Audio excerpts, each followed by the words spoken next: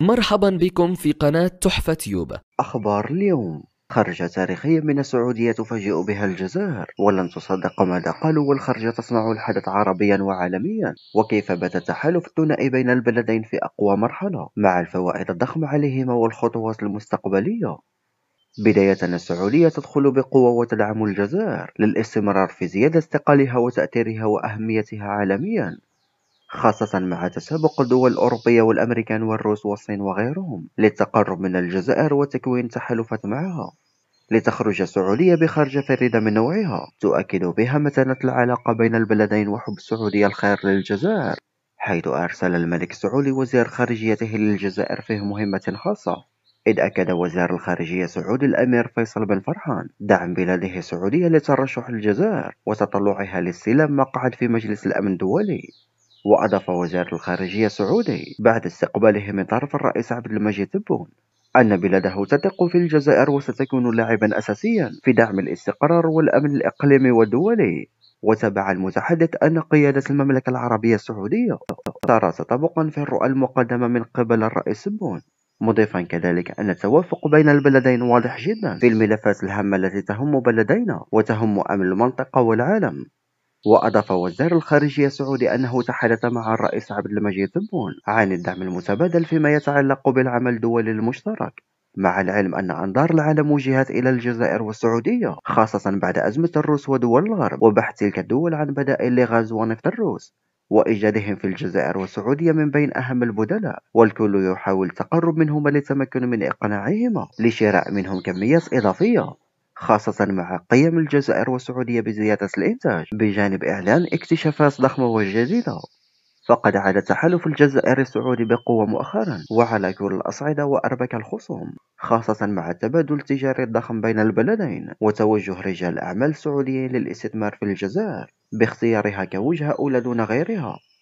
هذا وقال وزير الخارجية السعودي مضيفا أنه تم مناقشة كافة القضايا الهامة بين البلدين واستمعت إلى توجيهات الرئيس بون فيما يتعلق بتعزيز التعاون الثنائي بين بلدينا في كافة المجالات. وأضاف أن ذلك يتطابق مع توجيهات القيادة السعودية التي ترى أن العلاقات الثنائية بين البلدين أساسية في العمل العربي المشترك مؤكدا أن هناك توافق في القضايا العربية والإقليمية. كما أن هناك اتفاقيات قوية قادمة بين الجزائر والسعودية وتتبعها زيارات لوفود من الطرفين باستمرار لتعزيزها. بين الجمهورية الجزائرية والمملكة العربية السعودية تحت رئاسة وزيري خارجية البلدين لبحث العلاقات الثنائية وكذا أبرز القضايا الإقليمية والدولية. وبهذا تتقوى العلاقات ويزداد التقارب وتختفي أي خلافات ممكنة وجعل العلاقات صفحة بيضاء. والعمل المشترك بمصالح مشتركة والكل رابح بمبدأ الاحترام والأخوة فوق كل هذا فما رأيكم في ذلك؟ هذا وفي خبر منفصل. أخبار بار بار بار بار اليوم. تفاهم جزائري تركي وحفتر في ورطة وهذا ما حدث في الحدود والخارجية تصنع الحدث عالميا وكيف وجد حفتر نفسه معزولا وماذا فعل مجددا. وماذا عن الروس والدور وهكذا كانت المفاجأة المدوية. بداية التقارب التركي الجزائري يحاصر حفتر وأتباعه فبعد أن كان الأخير مستفيدا لسنوات من وجهات النظر المختلفة بين الجزائر وتركيا والموقف في القضية الليبية. انقلبت الأوضاع على حفتر فجأة كليا بعد الاتفاق الجزائري التركي وتبنيهما موقفا واحدا. يصب في مسار كله ضد حفتر ورسم له العديد من الخطوط الحمراء كلها لحماية الشعب الليبي الشقيق من أتباع حفتر وتحركاتهم. والخطوط الحمراء سواء في طرابلس أو في الحدود المشتركة إذ أصبح تأثير الجزائر قويا بعدما كان الروس أيضا إلا أن الروس منشغل بأزمتهم المحيطة بهم حاليا لتخلو الساحة أمام الجزائر لتفرض كلمتها لصالح الشعب الليبي الشقيق. أين فقد حفتر وأتباعه صوابهم بعد الزيارة الأخيرة للرئيس تبون إلى تركيا ويعرف جيدا أن التهديدات من الجزائر وتركيا له ليست بالمهمة ولن يجرؤ على محاولة التحدي في الميدان. لأن الأخير انتهى ولم يبقى الكثير ليبعد من الواجهة كليا خاصة وأن حفتر مغضوب عليه من طرف الجيش الجزائري الذي حذره من أي تحركات مشبوهة تكون توقيعا على نهايته هو ومن معه. هذا وعن تصريحات من الرئيس بون في تركيا التي جن جنون حفتر بسببها.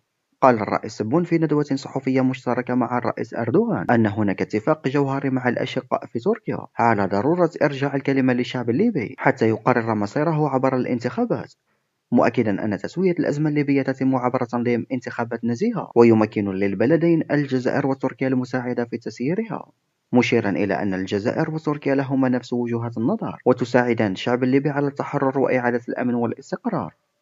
مع العلم أن هناك بعض الدول لا تزال تدعم حفتر إلا أن الأخير محكوم عليه بالفشل والنهاية. في ظل رفضه من طرف الشعب الليبي وتحرك الجزائر التركي.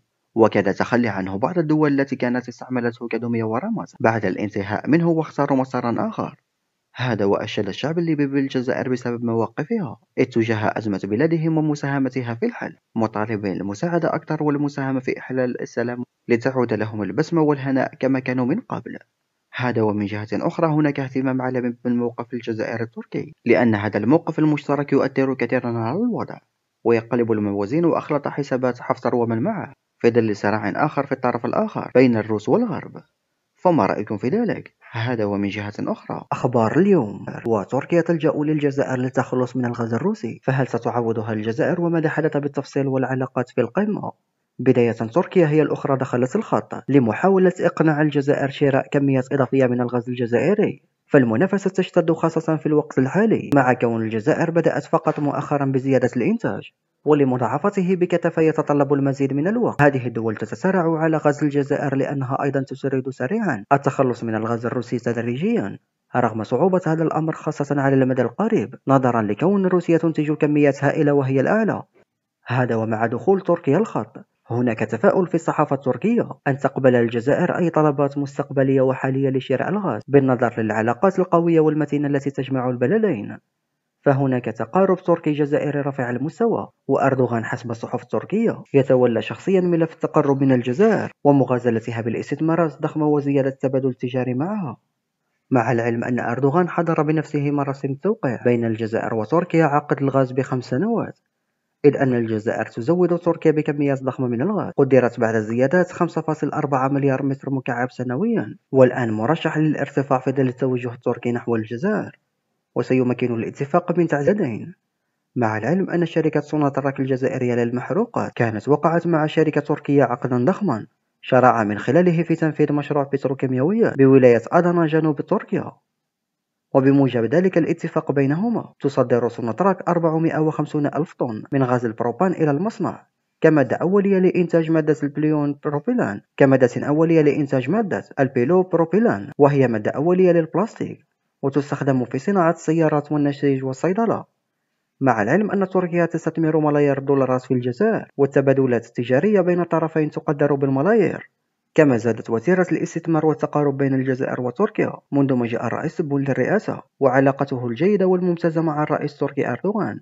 هذا وهناك دول إذا عجبك الفيديو اشترك في قناة تحفة تيوب ولا تنسى الإعجاب